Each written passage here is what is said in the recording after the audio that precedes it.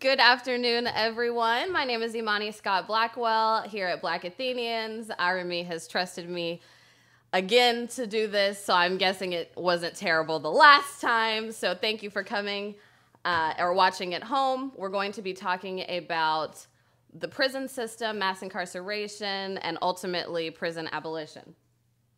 So I want to get started with uh, an introductory video, just kind of an overview on the prison system because that's not the main topic of the video.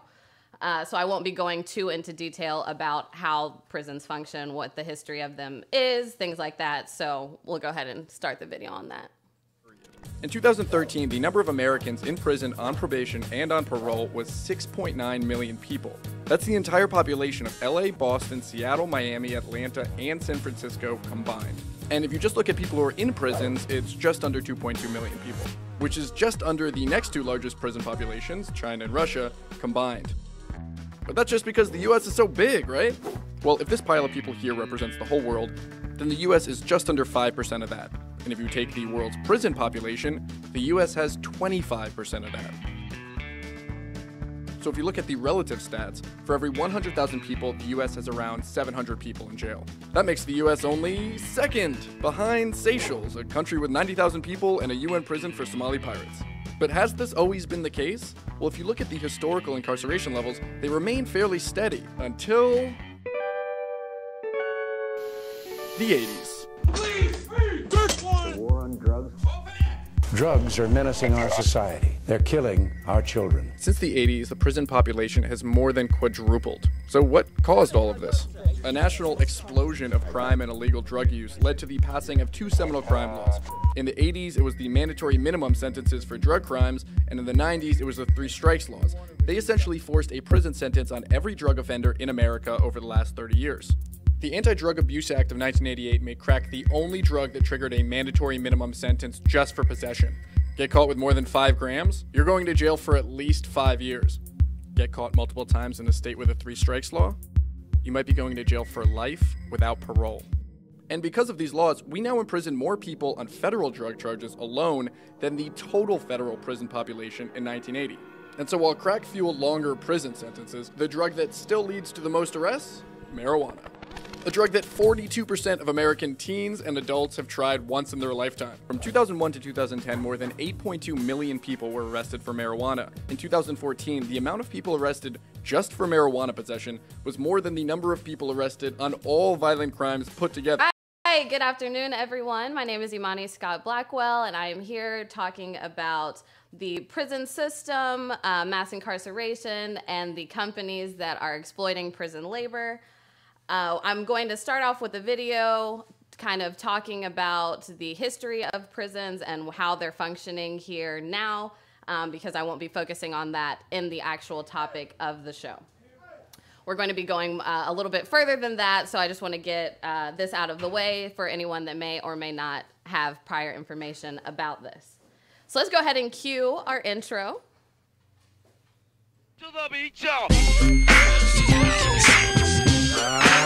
yeah.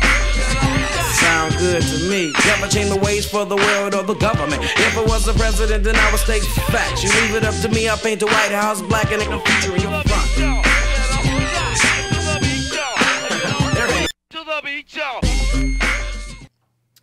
All right, so to go ahead and get started, I'm going to start off with that video that I was describing to you earlier. If we want to go ahead and pull that one up now has more prisoners than anyone else in the world, period. In 2013, the number of Americans in prison on probation and on parole was 6.9 million people. That's the entire population of LA, Boston, Seattle, Miami, Atlanta, and San Francisco combined. And if you just look at people who are in prisons, it's just under 2.2 million people, which is just under the next two largest prison populations, China and Russia, combined. But that's just because the US is so big, right? Well, if this pile of people here represents the whole world, then the US is just under 5% of that. And if you take the world's prison population, the US has 25% of that. So if you look at the relative stats, for every 100,000 people, the US has around 700 people in jail. That makes the US only second behind Seychelles, a country with 90,000 people and a UN prison for Somali pirates. But has this always been the case? Well, if you look at the historical incarceration levels, they remain fairly steady until The 80s. Please, please, The war on drugs. Drugs are menacing our society. They're killing our children. Since the 80s, the prison population has more than quadrupled. So, what caused all of this? A national explosion of crime and illegal drug use led to the passing of two seminal crime laws. In the 80s, it was the mandatory minimum sentences for drug crimes, and in the 90s, it was the three strikes laws. They essentially forced a prison sentence on every drug offender in America over the last 30 years. The Anti Drug Abuse Act of 1988 made crack the only drug that triggered a mandatory minimum sentence just for possession. Get caught with more than five grams, you're going to jail for at least five years. Get caught multiple times in a state with a three strikes law, you might be going to jail for life without parole. And because of these laws, we now imprison more people on federal drug charges alone than the total federal prison population in 1980. And so while crack fueled longer prison sentences, the drug that still leads to the most arrests? Marijuana a drug that 42% of American teens and adults have tried once in their lifetime. From 2001 to 2010, more than 8.2 million people were arrested for marijuana. In 2014, the amount of people arrested just for marijuana possession was more than the number of people arrested on all violent crimes put together. Way more. Not to mention that black people and white people use marijuana at the same rate, but nationally, black people are 3.7 times more likely to be arrested for it. In Washington, D.C., that number is 8 times. Well, how much does this all cost? Well, a lot. So, adjusted for inflation, in 1980, we spent about $17 billion on incarceration. This pile of potatoes here represents what we spent in 2010, which was $80 billion. The difference between those two is $63 billion. Well, what does $63 billion get you? Just the combined 2010 budgets for the EPA, the Department of Labor, the Department of Treasury, the National Science Foundation, and NASA. So, what do you think is more important? Locking up nonviolent drug offenders for life, or protecting the planet, finding American jobs, and, and advancing the U.S. in space exploration? All right, so the video discussed uh, a few important issues. Firstly, the ridiculous amount of people that are imprisoned in this system, the racial disparities um, that we're recognizing when we look at those statistics, the dramatic increase since the war on drugs, oppressive policies like mandatory minimums and the three strikes rule. It also highlights uh, how incarceration surprisingly doesn't actually decrease crime and also how um, expensive that system is. Before we get really into the talk uh, even further, there's one more clip that I want to show uh, the trailer for the documentary 13th by Ava DuVernay. It's a must see for anyone that is interested in these issues focusing on how the 13th Amendment basically created a loophole for the prison system to emerge as a modern day form of slavery. Then they said, We're going to take you to the precinct, and most likely we're going to let you go home. And then I never went home. The 13th Amendment to the Constitution makes it unconstitutional for someone to be held as a slave There are exceptions, including criminals. Loophole was immediately exploited. What you got after that was a rapid transition to a mythology of black criminality. Some people got the real problem. Animals, beasts that needed to be controlled. You better believe it. I'm only human. It became virtually impossible for a politician to run and appear soft on crime. The kinds of kids that are called super predators. Millions of dollars will be allocated for prison and jail facilities. Three strikes and you are out. It was an enormous burden on the black community, but it also violated a sense of core fairness. The states were required to keep these prisons filled, even if nobody was committing a crime. It's so difficult to talk about mass incarceration because it has become heavily monetized. The focus is on taking people from prison, putting them in community corrections, parole and probation. How much progress is it really if now there's a private company making money off the GPS monitor? We now have more African Americans under criminal supervision than all the slaves back in the 1850s. We are the products of the history that our ancestors chose. Products of that set of choices that we have to understand in order to escape from it. So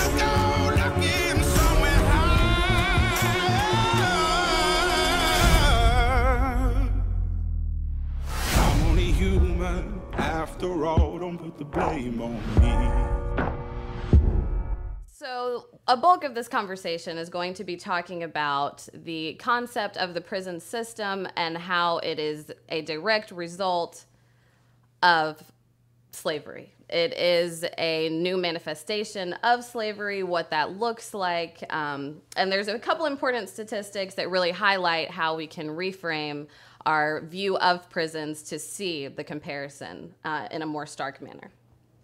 So, over the period of the Atlantic slave trade, from approximately 1526 to 1867, some 12.5 million slaves had been shipped from Africa, and 10.7 million had arrived in the Americas. The volume of slaves carried off from Africa reached 30,000 per year in the 1960s and 85,000 per year a century later. Now, because I don't consider myself to be an expert on any of these things, I will be relying a lot on um, research and the words of others that know more about this than me.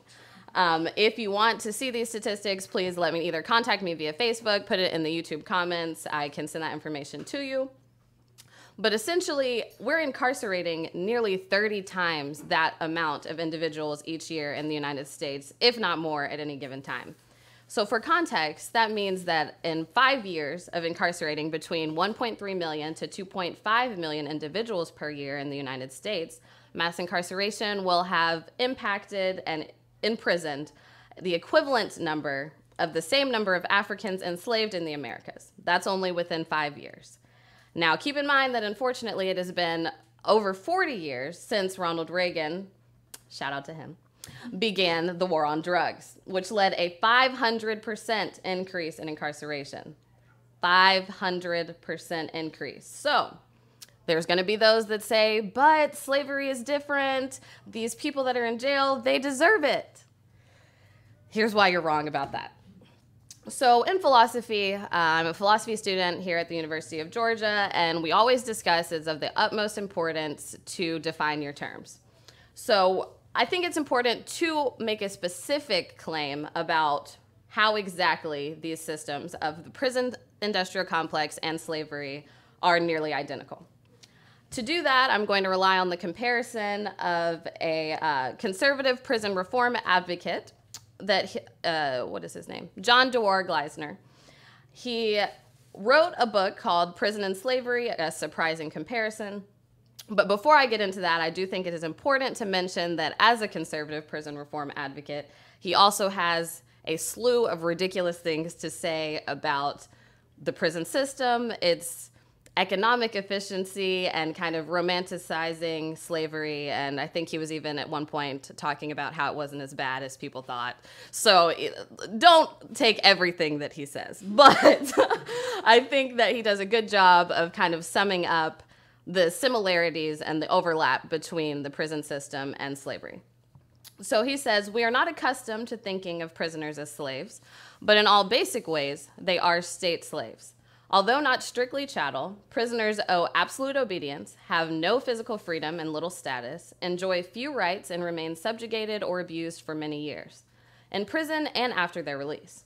Slavery has gone from an agrarian, paternalistic, personal form of private enterprise slavery to the socialized, impersonal, institutional, mass state slavery through incarceration inside hard surfaces, directed from Washington, D.C. and 50 state capitals. Now, it's important to note that both slavery and thus now the prison system are state sponsored activities. That is what we should be up in arms about. That is um, a foundational part of this talk and why I think we all need to care about it. Uh, now, if you'll bring up the image about the number. So, there are numerous statistics that reflect the vast impact of mass incarceration. Is there a way? Can we make, yeah. like, my face don't need to be there. Just, yeah.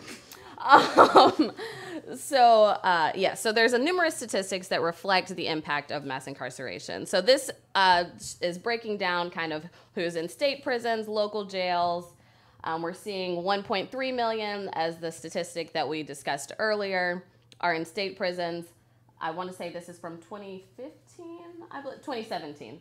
630,000 individuals in local jails. And uh, this is a image that I would take the time. I'm not going to go over all of it, but it shows a lot of information if you want to take this to access later. If you're able to screenshot it, again, if you want to ask uh, me to send you the image as well so you can review it.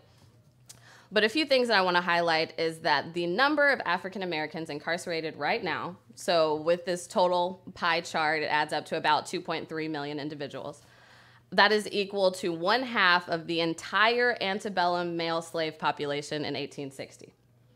Furthermore, African Americans in the modern US correctional population, so not including the entire uh, prison population, including those on probation and those uh, being surveilled, so on a, some sort of like parole system, exceed the number of American slaves in 1850. So we're talking about an issue that is impacting more people today than those that were impacted through slavery.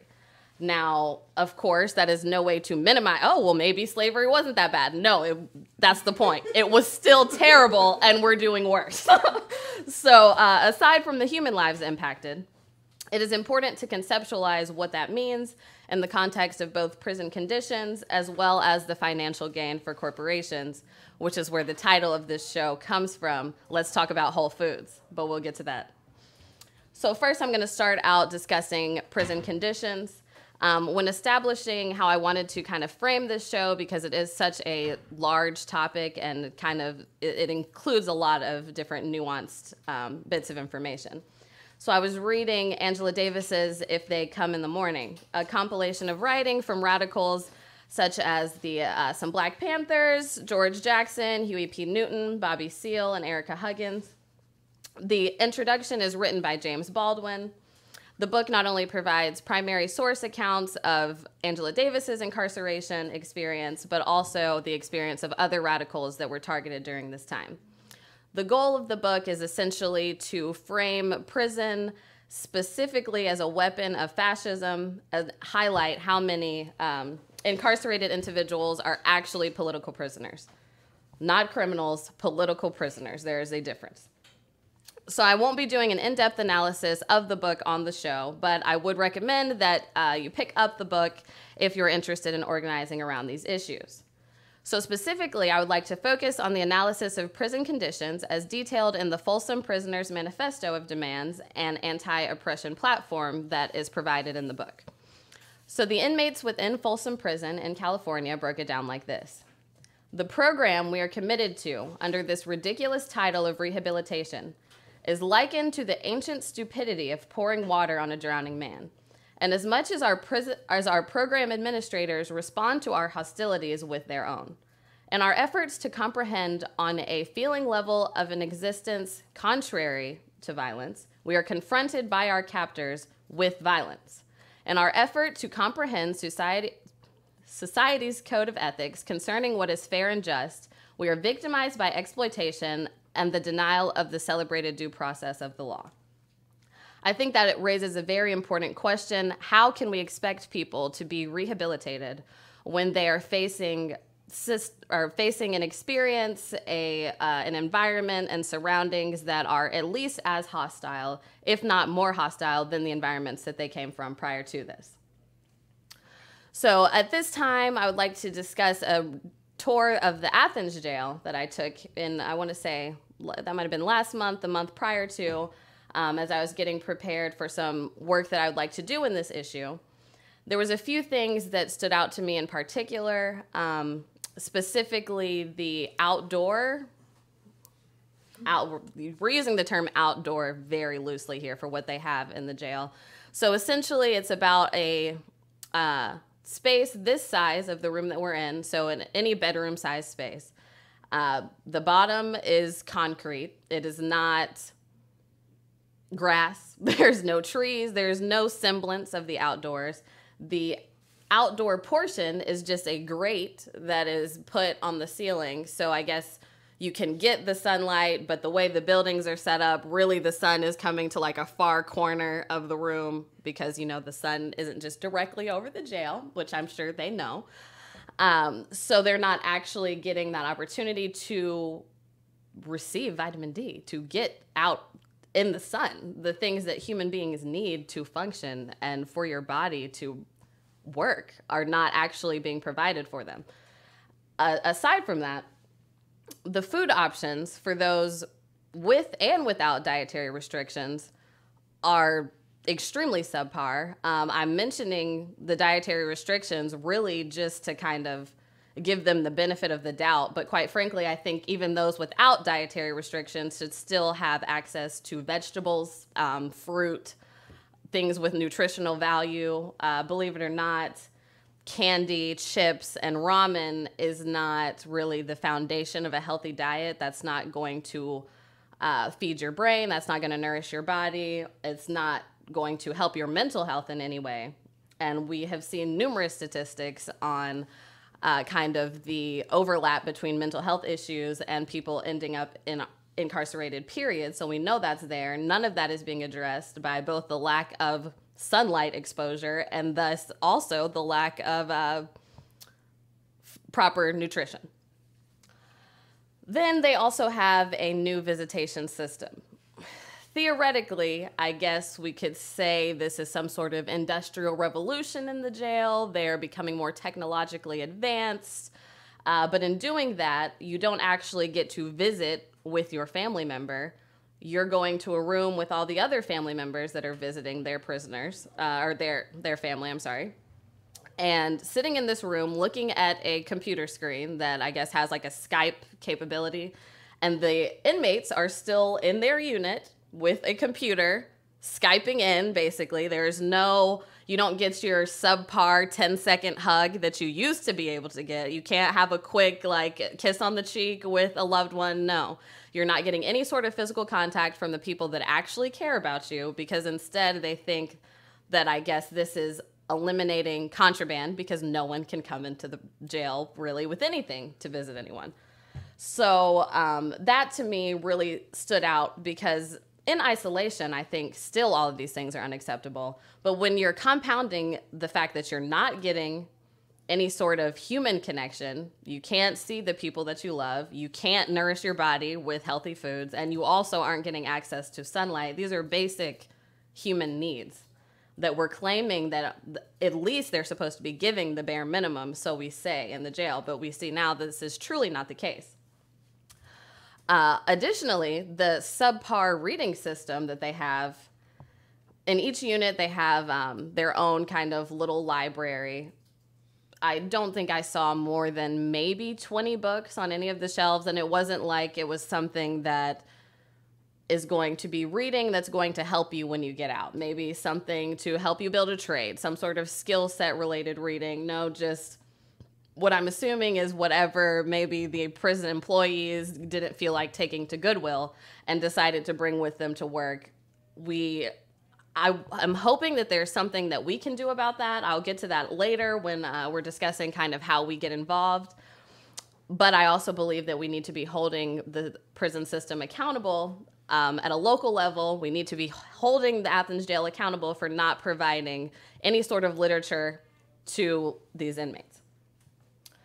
And lastly, aside from how the prison is impacting the inmates, I did also notice kind of how the employees were being treated and what not necessarily that they were being treated with any hostility, but just kind of what their working conditions are. If I'm not mistaken, no matter what your position is, every shift is 12 hours long. I can't see the difference, but maybe someone can explain it to me in the comments or in the audience.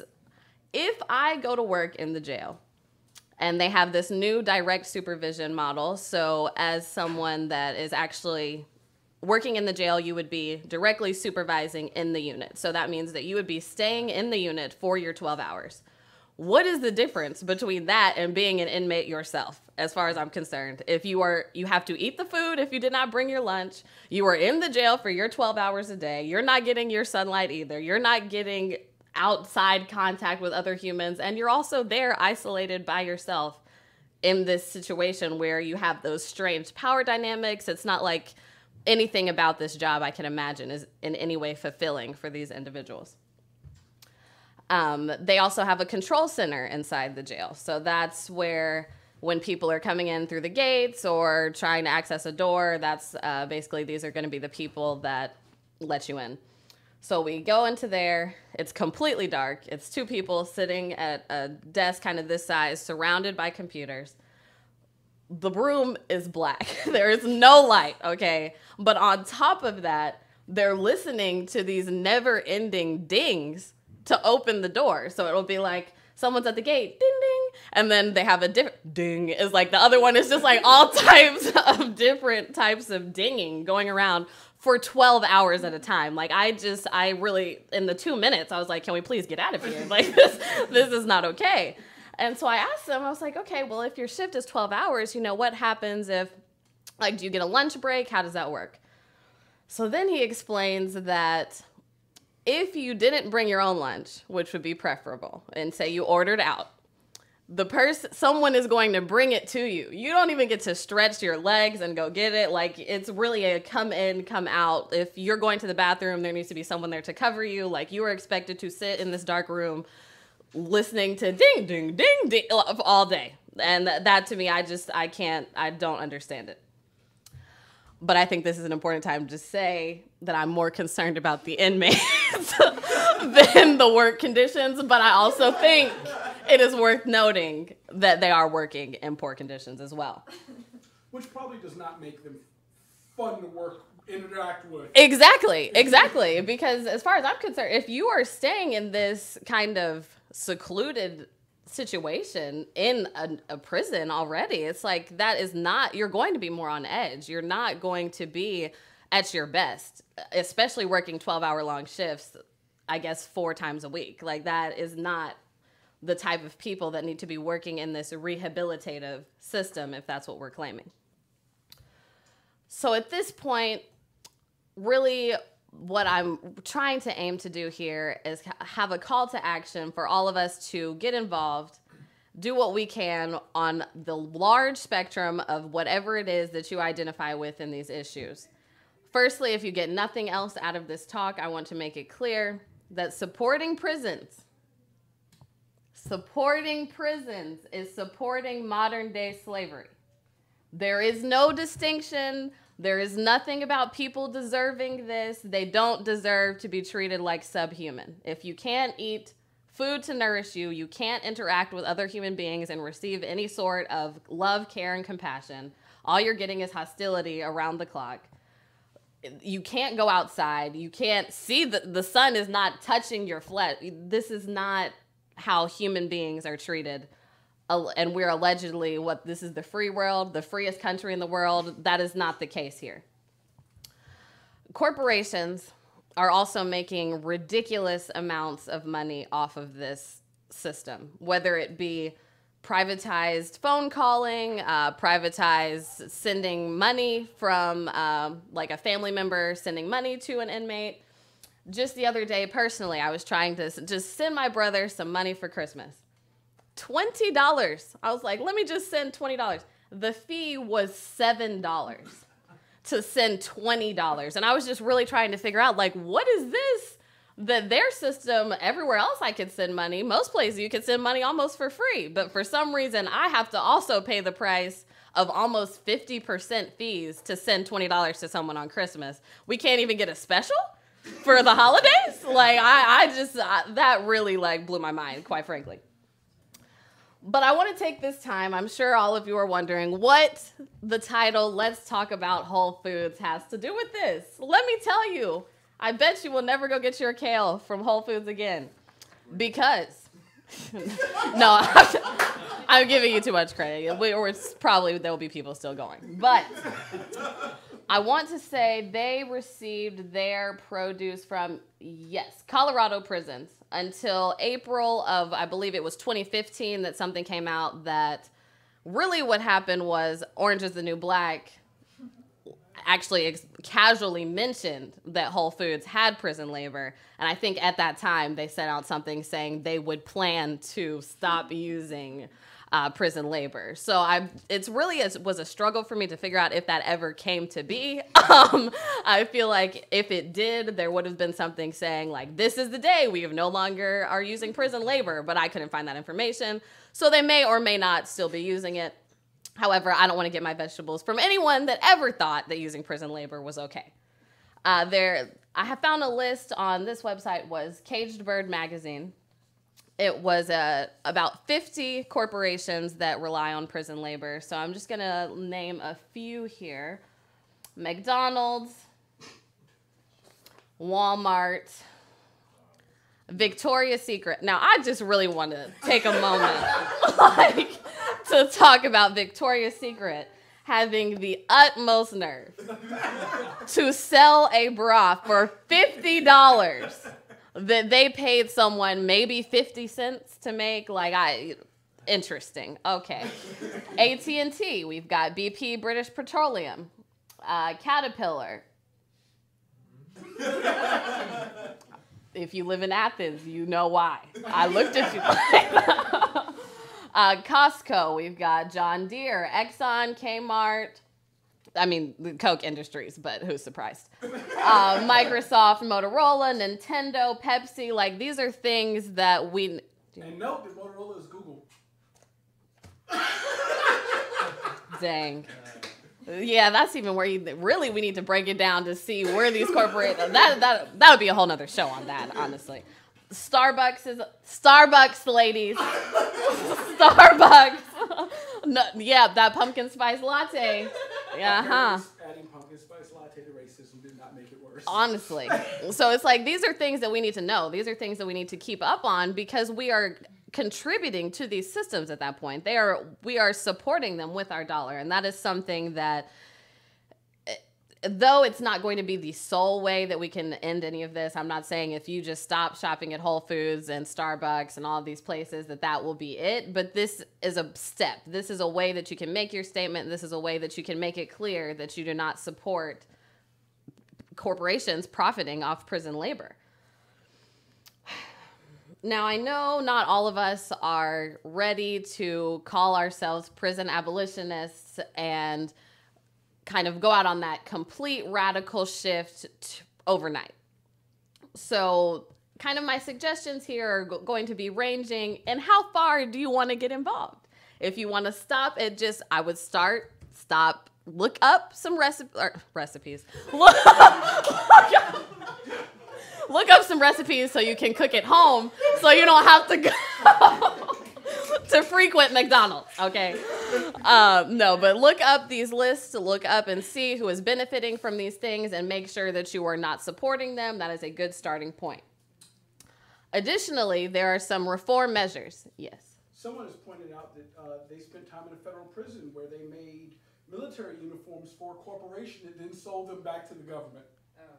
What? Wait, so are you wait, so the So the corporation was uh, expl- What do you say that again? Uh, the gentleman explains I was in federal prison Mhm. and they made military uniforms and for a corporation that sold those uniforms to the government. I just wanted to make sure I heard that properly. So the United States government, surprisingly, is benefiting from prison labor. Don't support the United States government either. I guess that's where we're at. Shout out to you, sir. Thank you for sharing that information. Except they, they're actually not probably benefiting because they're paying a markup. Yeah. but not enough. Not I need them to pay more. Um, so on t- there was actually that brings me to one of the businesses. They actually had some inmates that spoke out about the fact um, that they were basically making 25 cents a day uh, using. Oh, I'll have to. Yeah, what a shame.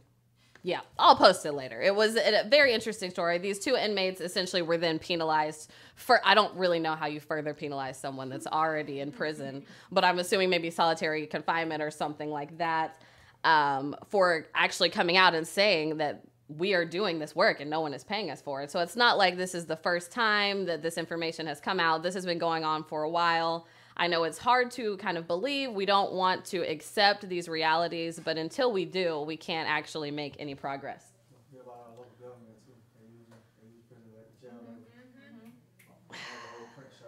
The print? Wait, what?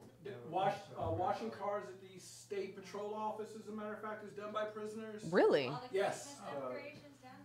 Are they still doing the what is it? The prisons do the fire. What is it? Where, or are they doing volunteer? Yeah. Yeah, they did all, all sorts of things like that. I know multiple, um, not just in Georgia, though we are trash, but also other states. I believe California has uh, their prisoners doing volunteer firefighting, whatever that Which looks like. job they don't qualify for once they get out. A very important thing to know. So you could put your life on the line for free, but once you get out, don't think that your experience means anything. So, for those of you that are interested in reform, step one, go to jail. I would recommend you do so voluntarily, like I did on a tour. Do not go out and get arrested just so you can go and see what's going on in the jail. Like, we could do this more from the outside with just kind of a request. I reached out to the jail commander. Um, and they made it abundantly clear that anyone can do this. If you want to, really just email them and they will set up a date at any time. So take a tour in the jail in your area. Critically think about what it is that you're seeing there, what sorts of things you wish they had there.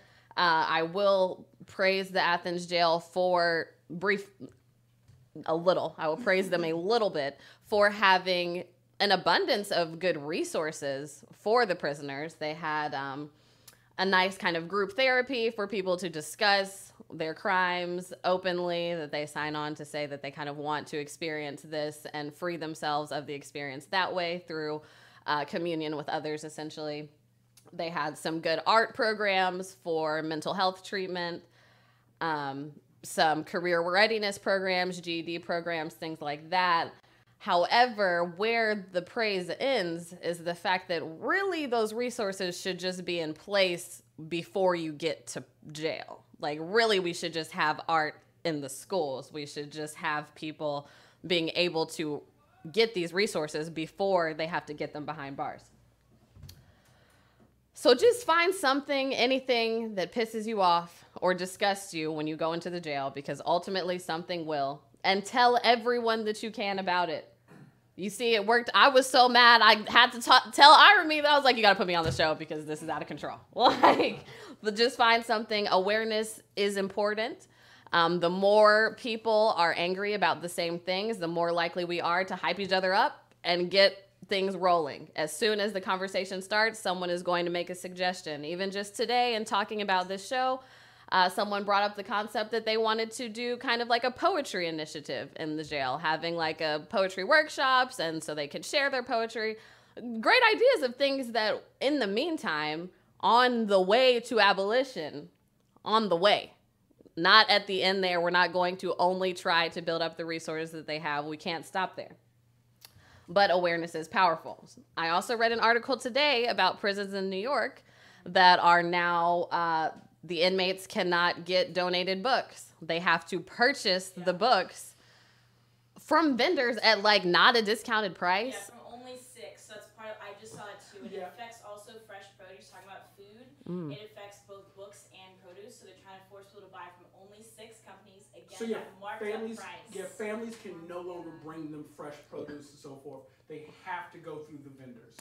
Uh, and uh, back to people. New Jersey banned uh, the new Jim Crow in their jails. They banned the book. Oh yeah, yeah, the book, and a judge just overturned that. Thankfully, thankfully, but because I'm sure the New York vendors don't offer it. I'm I'm sure they don't. I'm sure they don't. It's more like uh, how you can make capitalism work for you or something. I'm sure that's what they have in there. Uh, so you know that's that just made me think. Before that happens in Athens or in a city near wherever you are at home, donate some books and not the books that you just don't want to read. Get a good book, read it, and then take it to the jail. Conscious books, not something that is mindless and not going to benefit them in any way. Get a pen pal, even. Write to someone that is behind bars. Let them know that there are people out here that recognize that they are being mistreated. We recognize that their humanity is being denied and we are there for them. They need to know that because as we try to continue pushing them further and further away to the outskirts of our community as though no one cares about them, that is part of the system functioning in itself. The less that we engage with those people, the less that we know about what's going on there, it just continues to disintegrate. So we have got to stop here. for people in Athens specifically, did you have something you wanted? Okay. For people in Athens specifically, uh, shameless plug here. The Athens Anti Discrimination Movement local chapter is starting an End the School to Prison Pipeline campaign that's launching this year. If you're interested in getting involved, they have mentoring programs, raising awareness, doing workshops. If you want to get involved in any aspect of that, you can sign up at aadmovement.org. That is aadmovement.org. They will send you any and all information that you need can also reach out to me on Facebook, Mocha Johnson. Uh, Yolanda Parker specifically is the contact for that program. She works with both uh, the Athens Anti Discrimination Movement and Athens for Everyone if you would like to reach out to her in that capacity. Additionally, uh, I have worked with my co president, M. Ilbert, on uh, the school chapter of the Athens Anti Discrimination Movement. We're starting an inmate focus group project to interview inmates in the jail and essentially see kind of their feedback because who would know more about the school to prison pipeline than people that have experienced it themselves? So at that point, you're able to uh, kind of get what their feel was lacking in the community. Were there resources that specifically they think could have kind of prevented things from getting to this point? I don't want and I don't suggest anyone just go out and start prescribing solutions about things that we don't really understand. It's like the first step to any change, we have got to ask people, what do you need from me? What can I do for you? And kind of building that relationship there. So if you would be interested in getting involved in that program, reach out to me as well. You can contact me via email at ias68234 at uga.edu disregard the fact that my UGA email sounds like an inmate number. I do all the time. It's very strange, but that is the email IAS68234 at UGA.edu. Now, lastly, for those of us interested in radical systemic change, I would encourage you to, first of all, pick up Angela Davis's book, If They Come in the Morning Voices of Resistance. It was an excellent book. It does a great job of kind of laying out a blueprint for what this sort of revolutionary process for prison abolition will look like and just some easy, well, none of it is easy, but easily understood uh, suggestions, things that you can start approaching other people with because at first glance, it just sounds crazy. What do you mean you want to get rid of the prisons? Like, where are these people going to go? My response to that at all times is that was the same question that people were asking when they wanted to abolish slavery. What are we going to do with all of these slaves? Where are they going to go? Unfortunately, the answer was prisons. We have to come up with a real answer for that at this point in time. Um, so the book, I would definitely recommend you start there. Uh, specifically within the book, they have the Folsom Prisoners Manifesto of Demands. Uh, that is an excellent starting point for specific issues to raise awareness and to rally people behind those issues. We don't have to have a meeting as far as what uh, what are we going to do? Where should we start? They have been talking about these issues since the 70s. The steps are there. The manifesto is there, the demands are there, and uh, unfortunately, we haven't progressed enough for it to not still be relevant. so we can literally use the same thing as a framework to continue our work here today. So I'd like to end with a quote from the book. Uh, I believe, yeah, this was in Angela Davis's portion herself. So the book is broken up into both what Angela Davis is saying and then specific uh, essays written by others as well. So, in her words, if we begin to grapple with some of these developments, if we begin to see the relationship between the prison system and fascist ideology and program, if we begin to see that we must develop our concept of the political prisoner, and if we begin to see the relationship between containment and home, containment at home and counterinsurgency and aggression abroad, then we will have opened up whole new avenues for legal and political defense inf- involving many thousands of people. I really am not sure that we will be dissenting and organizing effectively as long as we are working within the bounds of the law. With that being the case, we need to prepare for our fellow activists and ourselves to potentially be jailed. I'm not just telling this to you. I personally, I've started doing my yoga, preparing my meditation in case I ever have to be anywhere for a long time where I could just have me in here. I'm not joking when I say that. These are things that we need to be considering because Irami said something uh, very powerful on the show a couple of weeks ago. Jail is just something that good people go through sometimes. If we're going to fight these systems, we might have to go through that, and we need to be prepared for the ramifications of what that looks like. So let me be clear though I'm not saying go riot the streets and break into jails and free the inmates today. I'm also not saying not to do that if you want to do that. I'm not saying don't. But what I am saying is we have to prepare for that time. We have to organize seriously. We have to take this work seriously and have the something to fall back on. We need bail funds. We need legal counsel that is there and people that are ready to mobilize if something does happen. We need to know how people's children are going to be cared for or children in the community if something goes wrong with someone's parents. We need strong support systems committed to standing with any and all of our fellow activists who are jailed and we must follow through with the support when the time comes. Don't y'all just let me go to jail now. Nobody is going to jail by themselves, okay? If I find out that you were in jail, write me before you do anything. Please let me know. Make sure other people know. Don't just go out rioting or whatever you want to do. Make sure you have contacted the bail fund, you have someone ready to get you out beforehand. These are the types of things that we need to think about if we want to take this movement seriously. So I'd say it's about time to go ahead and wrap this up. So let's just go over the main points that we've discussed here today. The most important thing the prison system is a modern day form of slavery, and as such, we have to abolish it. Anyone in prison because of unjust or discriminatory laws is a political prisoner. They are not a criminal, and there is a difference. These people deserve our support. They must be freed, and what the Folsom Prisoner Manifesto refers to as fascist concentration camps in modern America must be abolished. It is imperative that we all get involved in our jails and hold them accountable for injustices, as well as provide supplementary resources to prevent incarceration in our communities. So that is all I've got. I would like to open up the floor now in case anyone has a question. What is what is? Oh. Uh, well, before I open up the floor to ask uh, questions and commentary, uh, this is the time that we want to go ahead and shout out Richard Winfield for Congress. His campaign launching event is going to be on January 13th. That was tomorrow at 3 p.m. to 4 p.m. This is at the East Athens Educational Dance Center at uh, 390 McKinley Drive, Athens, Georgia 30601. Uh, this man is honestly one of the most radical politicians I think I have ever encountered in my lifetime. Uh, his social bill of rights program i think is something that everyone needs to read and recognize that there is a man out here that legitimately said these words aloud and is planning on doing something with them seriously we need to take him seriously so please check him out tomorrow at 3 p.m if you can all right. So, does anyone have any questions or comments at this time, or disputes or anything? I have a question about the Athens jail.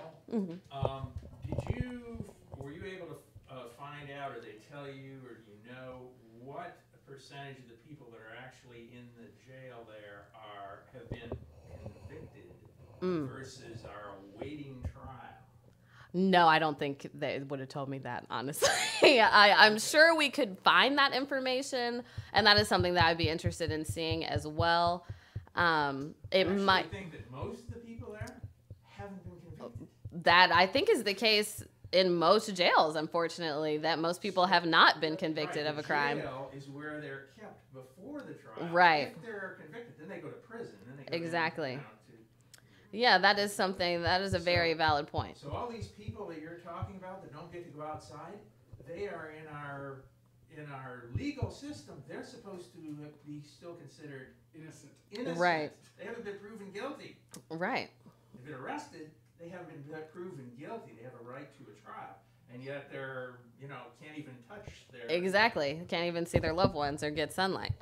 It uh it actually that now that you brought that up, that reminds me of something that was brought to my attention today. I want to say this was in this is in New York that they have people going into the jail and uh distributing voter registration. Um, they were discussing, I just really briefly watched the clip before I came here, but um, essentially the person that was speaking about it was saying that these people, exactly what you're saying, not all of them have been convicted of a crime. If there is an election coming up, there is absolutely no reason why they shouldn't have their right to vote. Um, and as such, I think that is also something that we should be considering here in the Athens jail because I don't think that is taking place or in other cities. That is something worth considering. And I think that that knowledge of the fact that people that are in jail haven't always been convicted already, they are just awaiting trial that kind of adds on a bit more um, ammo when we're kind of discussing this with people that are like, well, wait, no, they're criminals. It's like, no, no, no. People are innocent until proven guilty, and not all of these people have been proven guilty. And whether they'll go to or not is really aside the point. They still deserve to be treated like humans. Any any anybody else have anything they would like to say? Well, thank you all for watching. I hope Irami, I hope we did you justice here today. All right. Yeah. Shout out to you, Ashley. Thank you.